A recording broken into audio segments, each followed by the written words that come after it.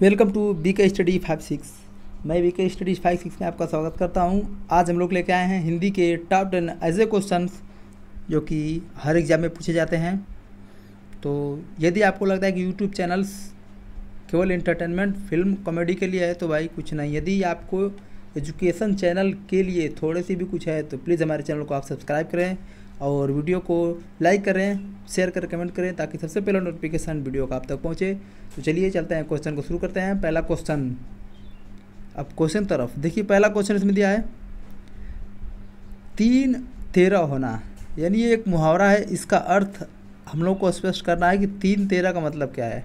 पहला ऑप्शन स्पष्ट होना, उचित होना, तितर बितर होना और सीधी बात न करना। तो इसमें सही ऑप्शन होगा तितर बितर होना। इसमें क्या होगा? ऑप्शन नंबर हमारा सी सही है। तितर बितर होना, ठीक है? अब चलते हैं अगले क्वेश्चन की तरफ़। दिया कि तद्भव रूप है। ग्रीन, गुहा, गौर, गोस्वामी। मतलब ये जो चार शब्द हैं, इसमें तत्सम रूप कौन सा है? ग्रीन है, गुहा है कि गौर है कि गोस्वामी है? तो देखिए, इसमें होगा हमारा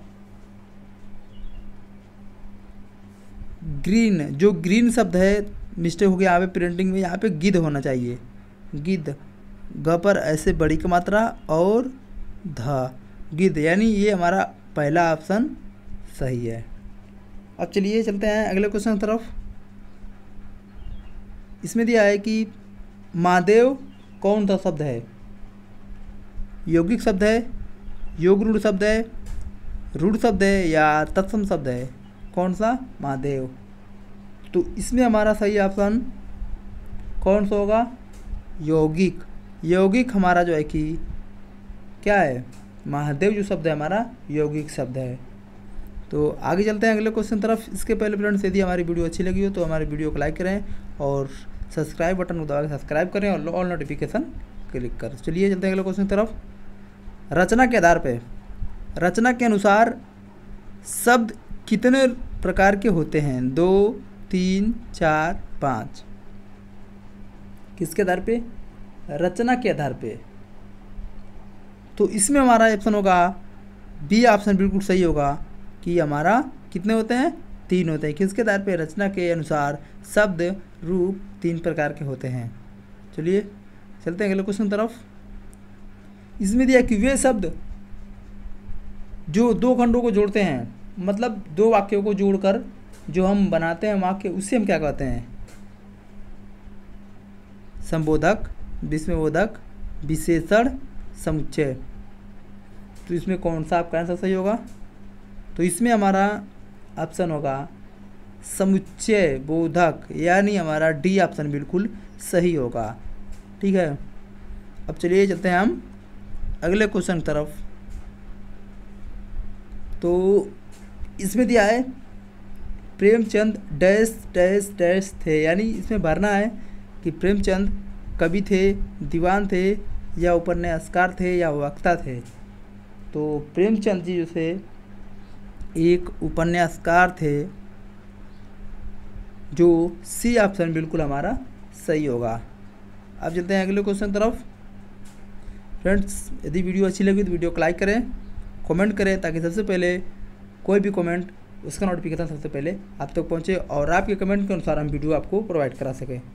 चलिए, ज़्यादा बात ना करते हुए चलते हैं। अगले क्वेश्चन तरफ़, आँख का परिवाची शब्द है, रजनी, निशा, प्रभाकर विभावरी तो आँख का परिवाची इसमें होगा हमारा चछू देखिए, इसमें भी वो ऑप्शन नहीं है नहीं है, यानी ये सब पूरा क्वेश्चन क्या हमारा? रॉन्ग है। तो इसका सही ऑप्शन होगा चछू च, ऐसे होगा, उसके बाद ये ऐसे छत्तीस वाला अच्छा करके और उस पर छोटा का मात्रा चछू हम कर देंगे, यानी हमारा कब परिभाषी हो जाएगा। यानी ये चारों ऑप्शन गलत है हमारा, ठीक है? अब चलिए, अगले क्वेश्चन तरफ़। रात्रि का परिवाची नहीं है। जो रात हमारा शब्द होता है, उसका परिवाची कौन सा नहीं है? इन चारों में से ऑप्शन ए, बी, सी और डी। तो इनमें प्रभाकर जो है हमारा सी ऑप्शन, वह रात्रि का पर्यवाची नहीं है। ठीक है? तो अब इस क्वेश्चन सीरीज़ का फ्रेंड, लास्ट क्वेश्चन क्वेश्चन, जो कि इस सीरीज़ का लास्ट क्वेश्चन है और बहुत ही ज़बरदस्त क्वेश्चन। तो फ्रेंड इसके पहले यदि वीडियो अच्छी लगी हो तो हमारे चैनल को सब्सक्राइब करें, वीडियो को लाइक करें, ताकि कोई भी नोटिफिकेशन सबसे पहले हमारी टीम की तरफ़ से आपके पास पहुँचे।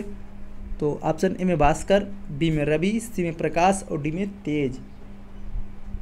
तो इसमें हमारा करेक्ट ऑप्शन क्या होगा? तो इसमें हमारा होगा रवि, यानी बी ऑप्शन हमारा बिल्कुल सही होगा। फ्रेंड्स एडी एजुकेशन चैनल के लिए थोड़ी सी भी है प्लीज़ हमारे चैनल को सब्सक्राइब करें। और वीडियो को लाइक करें और अपने दोस्तों में फ्रेंड्स स्कूल, हर जगह शेयर करें और चैनल को सब्सक्राइब करें। वीडियो को बंद करते हैं। धन्यवाद।